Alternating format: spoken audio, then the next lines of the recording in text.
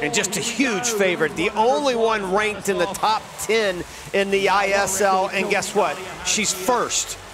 And she was brilliant last week when she won match number two to kick things off for Cali in the hundred fly. All right, four of the 10 teams in the league doing battle. You can see DC there on the left side of there in one and two all day long. Cali Condors will be in three and four, Current in five and six.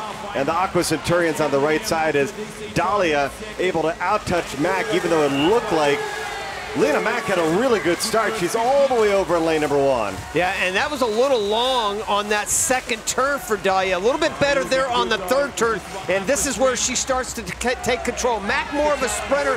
Dahlia can go all the way up to a 200. And for Aqua, Lena Di Liddo, she was second.